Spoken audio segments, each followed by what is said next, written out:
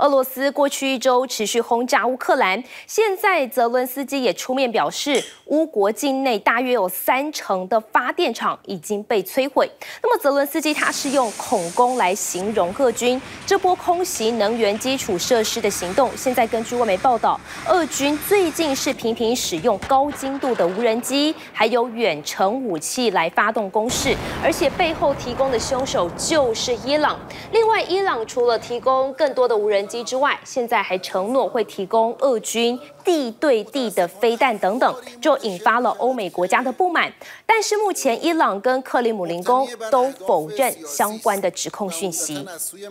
想扩大国际视野，掌握趋势，请订阅专门报道国际新闻的 YouTube 频道 TVBS 国际 Plus，记得要开启小铃铛哦。